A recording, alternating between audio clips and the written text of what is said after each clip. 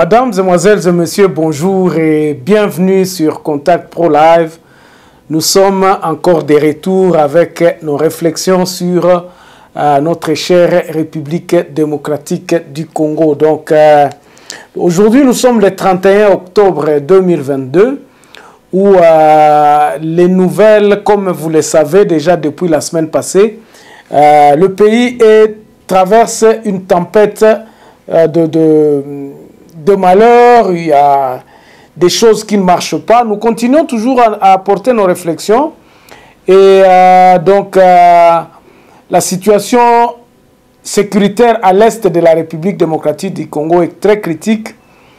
Euh, Bunagana était déjà depuis plus de trois mois dans le main de ce qu'ils appellent les terroristes ou bien de, du mouvement insurrectionnel supporté par le Rwanda.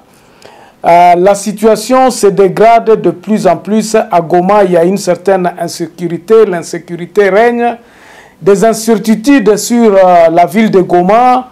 Et euh, nous avons sur le réseau le, les soldats qui déclarent qu'ils ont abandonné pratiquement le terrain et ils sont en fuite vers Kisangani, Butembo. Donc, et c'est ça, donc, euh, dans cette euh, situation que nous avions décidé quand même de, de, venir avec euh, Contact Pro donc de venir auprès de vous, toujours avec cette joie de vous retrouver parce que vous êtes nombreux à nous poser des questions sur les situations et sur les réponses que nous apportons sur la table des décideurs afin qu'ils puissent nous remettre sur le rail du développement et de la sécurité. Nous avions posé beaucoup de questions sur l'état de siège qui a été décrété. Donc, euh, le mouvement insurrectionnel venait justement d'abolir cet état de siège dans la région en disant que ça n'a pas d'importance et eux, ils veulent causer avec Kinshasa.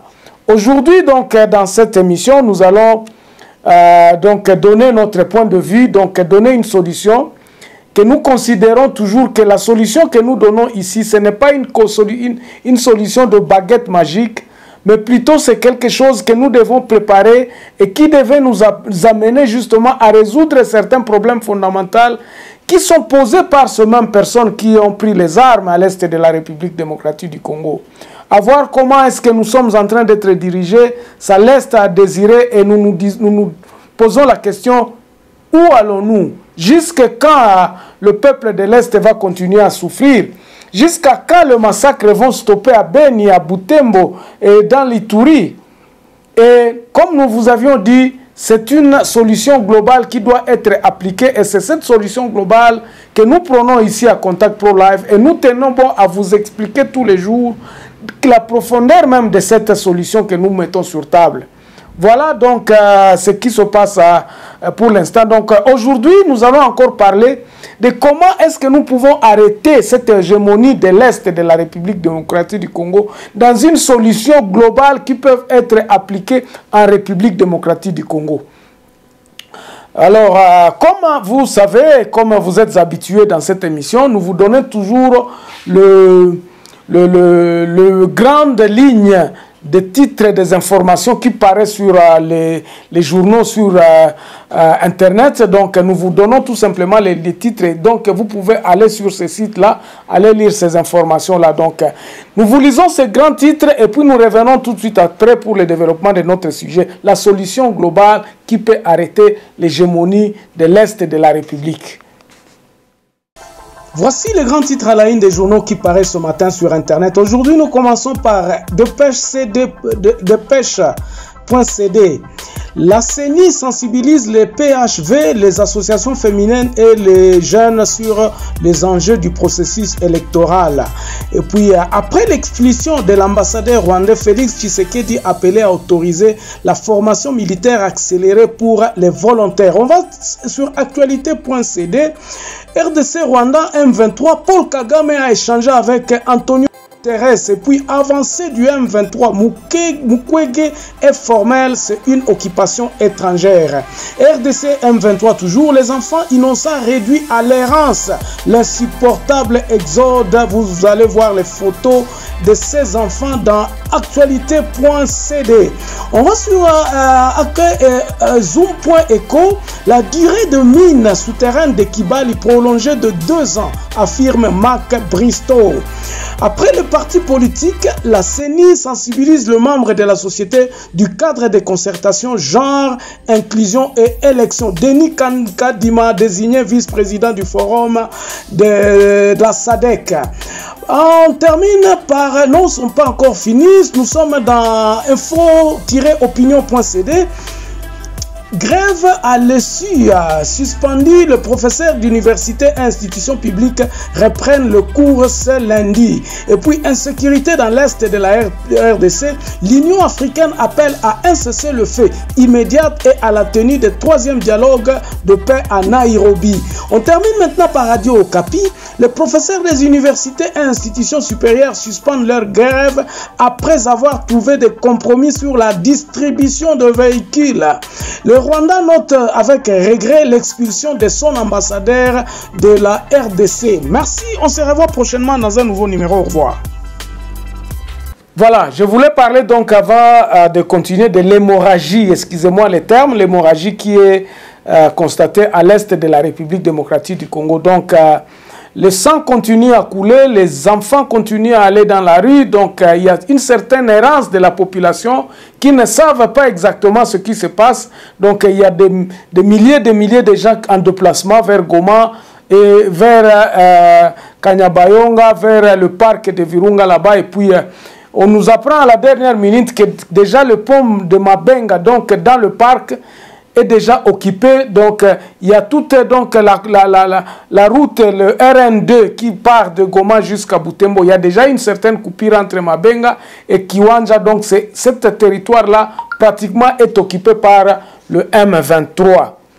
Alors, nous allons d'abord vous remercier pour tous, ceux, pour tous ceux qui nous ont suivis euh, le week-end dans notre émission Facebook sur euh, la page Germain Kaindo où euh, vous étiez nombreux à suivre le développement, la, comment est-ce que nous vous expliquions toutes les émissions que nous avions parlé dans la semaine passée et en long et à large avec en détail. Nous avions parlé de Bunagana comment Bunagana s'organise et la vie continue à, commence à reprendre petit à petit.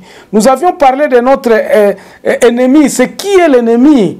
Hein? Nous vous avions expliqué, nous avions vu que l'ennemi, la première ennemie, l'ennemi numéro un du peuple congolais, c'est lui-même d'abord. C'est parce que nous nous avions entêtés à appliquer les solutions qui devraient être. Nous, nous sommes entêtés nous-mêmes. Personne ne nous a, nous, euh, euh, donc euh, empêché d'appliquer des solutions, de reconstruire notre État. Donc le premier ennemi du Congolais, nous avions vu que c'était les Congolais. Et puis la désorganisation, nous avions parlé de la désorganisation dans le FARDC. Pouvons-nous compter sur un homme Avons-nous une baguette magique que nous pouvons dire que nous allons mettre dans le FARDC et que le FARDC commence à gagner les guerres?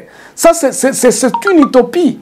Nous vous avions donné ce développement-là et nous vous avions dit que pour le moment aujourd'hui, le FARDC est en difficulté parce qu'il n'y a pas une politique de, de, de une politique de, de, de l'armée dans ce que nous, faisons. Ce que nous faisons, nous faisons des essais et erreurs, pensant qu'il y aura un homme qui viendra avec une baguette magique et retransformer toute l'armée. Nous avions pensé qu'en en ayant des armes solides, ça pourrait, ça pourrait nous, nous, nous donner cet avantage sur l'armée, sur les guerres ou tout ça. Ce n'est pas les armes qui gagnent les, les, guerres, ce sont les hommes, ce sont les hommes qui réfléchissent, ce sont les hommes qui, qui se préparent qui prépare comment est-ce qu'ils peuvent défendre son territoire? Qu'est-ce que nous, nous avions fait de notre territoire depuis que nous sommes là? Depuis quatre ans, qu'est-ce que nous avions préparé pour ce que nous puissions euh, défendre valablement notre pays? Avons-nous une politique? Avons-nous fait des réformes? Des réformes plutôt dans notre armée? Ça, ce sont les questions que nous avions développées la semaine passée, donc euh, dans l'émission euh, de samedi. Nous ne voulons pas revenir, nous vous donnons tout simplement pour vous rafraîchir la mémoire. Et puis nous avions dit, hein, en fin de compte, dans la réaction du dimanche, ce qui me suit le dimanche, peut-être le lundi matin, disons ce matin, nous avions dit l'attitude que prennent nos dirigeants vis-à-vis de cette guerre à l'est de la République démocratique du Congo. Est-ce que nous nous comportons comme dans un pays en guerre? Pendant que les gens sont en train d'être tués à l'est du pays, nous voyons comment est-ce que euh, à Kinshasa, on est en train de juguler, on est en train de danser, de chanter et de danser.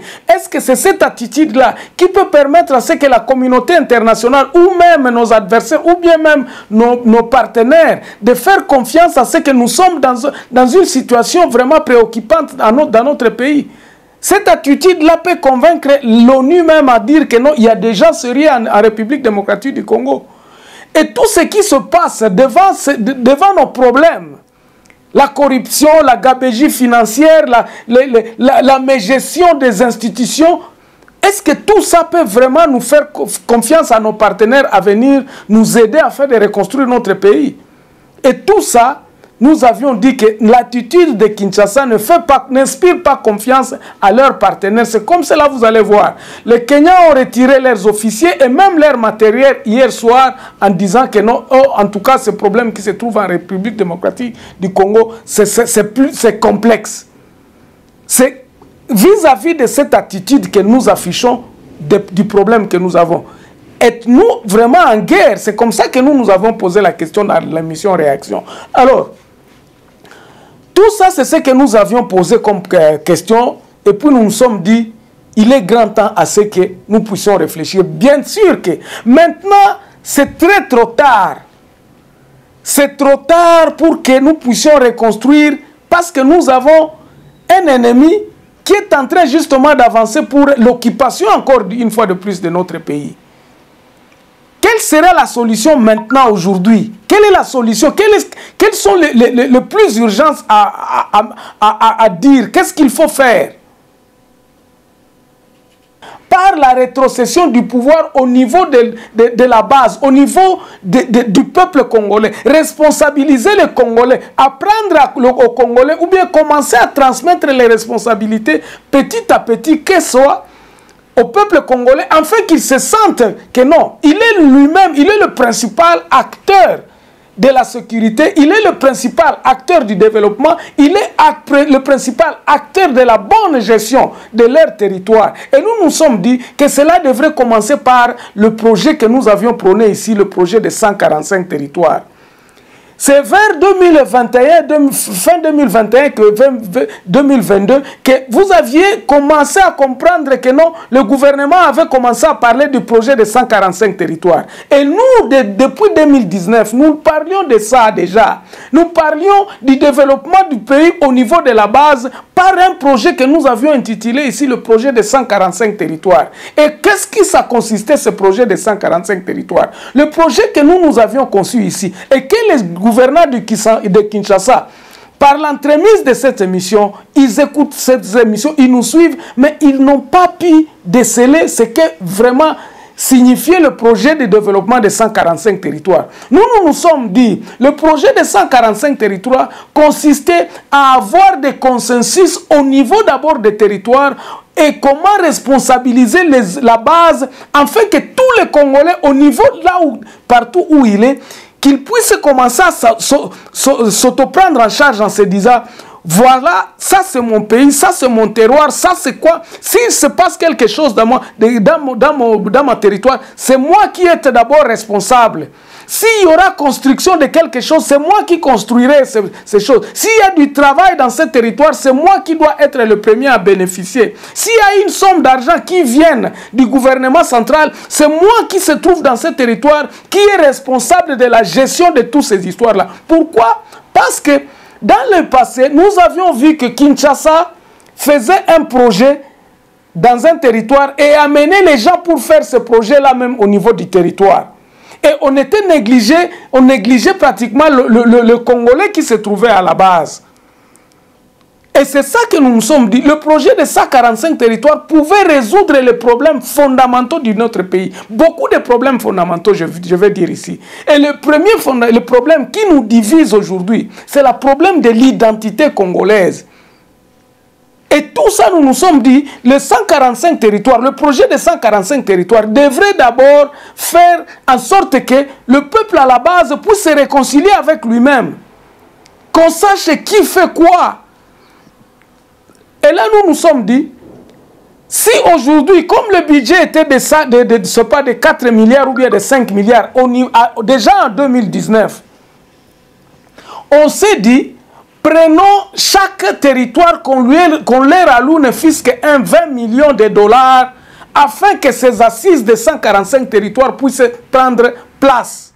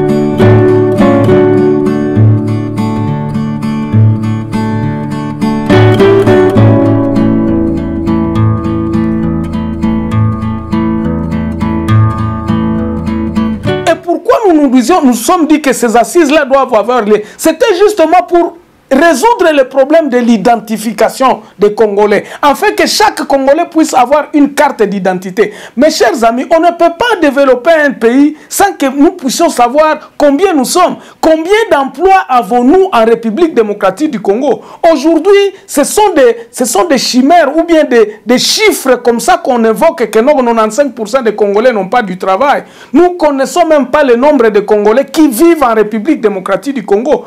Et ça, c'est le premier problème que nous, nous avions dit que non, le, le, projet de 145 territoires devrait s'occuper. Donc, dans chaque territoire, il devait y avoir des assises. Afin que le peuple congolais, là où il est, puisse se contenir en se disant voici mon, mon, ma territoire, voici ce que j'ai, voici combien d'hommes nous sommes ici, qui, qui habite avec moi ici, pour que les Congolais puissent se connaître. Il suffisait tout simplement de faire ces assises-là et que ces assises-là, dans un premier temps, devraient être, avoir deux missions. La, ré, la rélecture de notre constitution afin d'apporter des amendements. Donc, nous devrions nous atteler sur l'histoire de la constitution. Et pendant ce temps-là, nous devrions en principe, les gens qui sont dans ce territoire-là, organiser des bureaux afin d'identifier le peuple au niveau de la base pour qu'on puisse identifier tout le peuple sur euh, euh, l'étendue de la République démocratique du Congo. C'était ça le, le, donc l'idée principale du projet de 145 territoires. Que les Congolais se parlent d'abord, que les Congolais puissent trouver un consensus sur les problèmes fondamentaux de, notre pays. Le développement, pourquoi c'est que tout, c'est seulement Kinshasa? Les, les, caisses de péréquation, comment est-ce que nous pouvons réapprovisionner? C'était tout simplement ça. Parce qu'au niveau des territoires, il y a moyen de faire un contrôle à ce que nous ne puissions pas avoir de détournement d'argent ou bien de détournement. Que le peuple congolais puisse se prendre en charge au niveau des territoires. C'était ça l'idée de, de, ce projet de 145 territoires. Ce n'était pas de financer des projets de développement. Vous allez, vous allez mettre une route dans un, dans un environnement où les gens ne s'entendent pas. C'est comme l'Ouganda qui voulait construire la route entre Kassindi vers Butembo et puis Butembo, Goma, Bunia. Pendant qu'il y a des gens qu'on est en train de tuer chaque jour. Regardez combien, de camions les Nandes ont perdu sur cette route-là entre Kassindi et, Beni et Butembo. Tous les jours, il y avait des, des... Alors, vous allez entreprendre un projet en construisant des routes comme ça. Sur quelle base? Il faut d'abord réconcilier le peuple. Il faudrait que nous, nous ayons un climat de paix où le peuple s'est réconcilié avec lui-même, où le peuple s'est dit Voici comment nous allons commencer à marcher et comment nous allons marcher. Qui est qui et qui fera quoi? Et ce compromis-là, cette réconciliation du peuple avec lui-même devrait servir maintenant de soubassement pour des projets et pour les alliances maintenant, ou bien des, des, des, des accords avec de, pays pour venir nous, nous aider. Parce qu'à ce moment-là, nous aurons maintenant défini que voilà comment est-ce que nous allons marcher.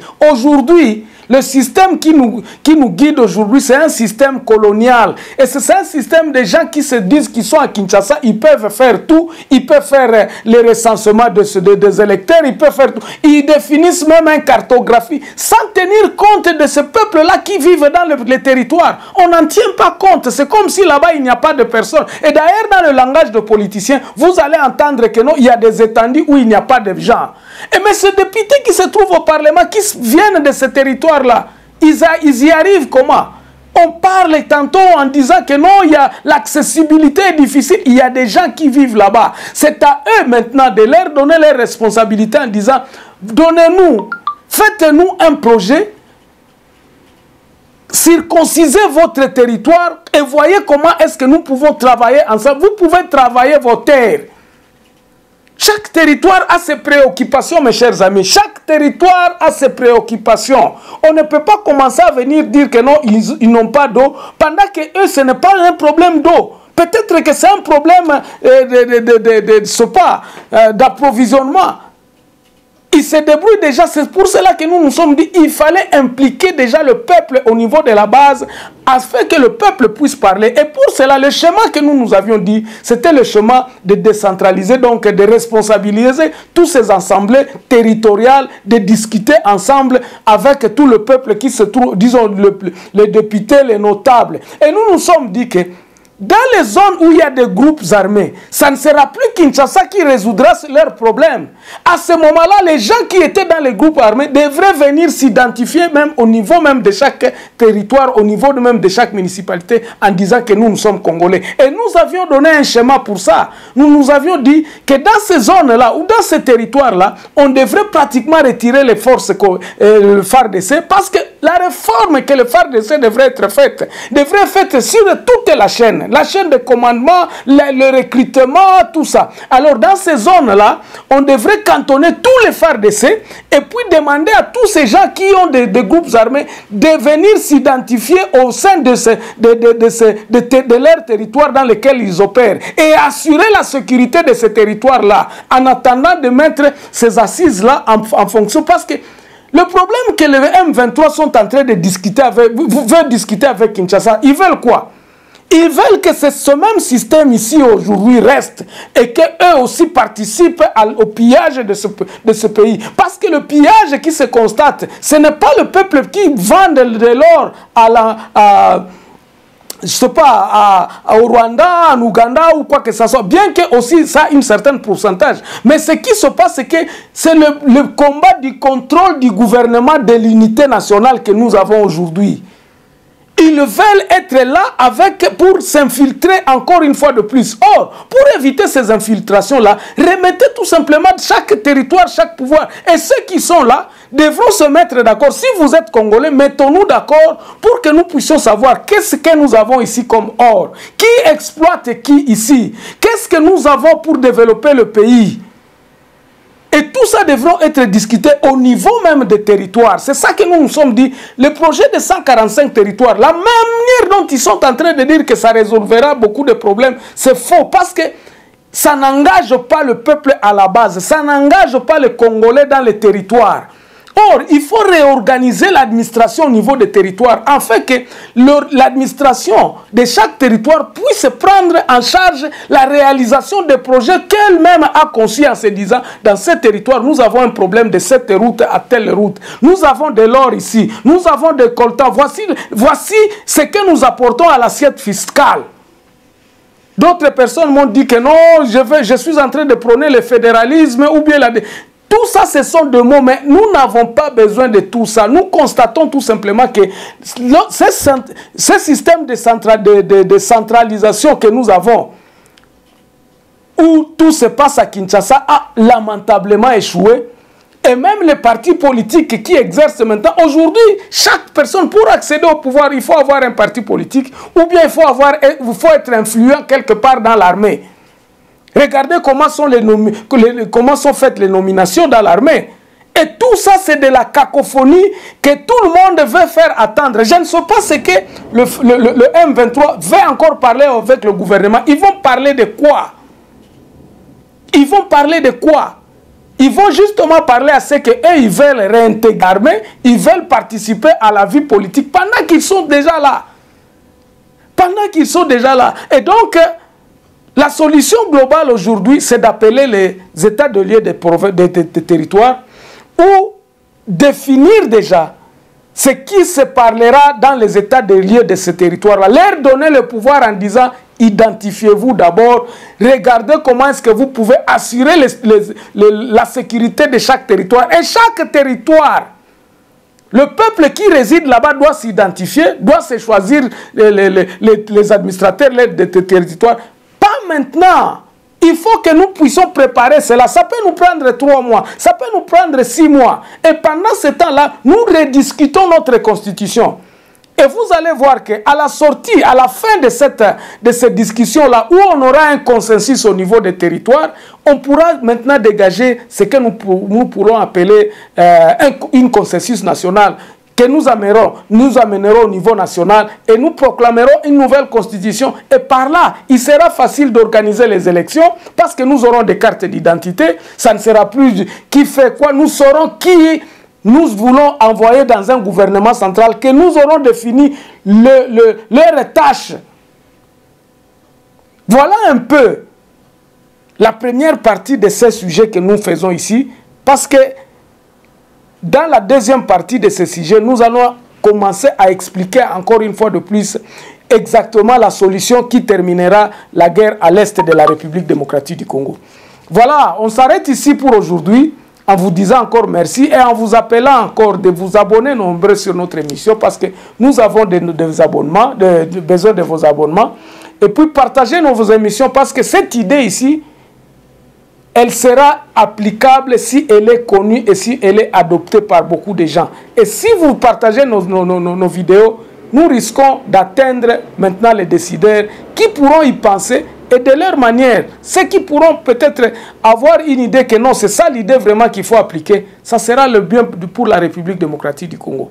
On se revoit alors prochainement dans un nouveau numéro. Portez-vous bien. Au revoir.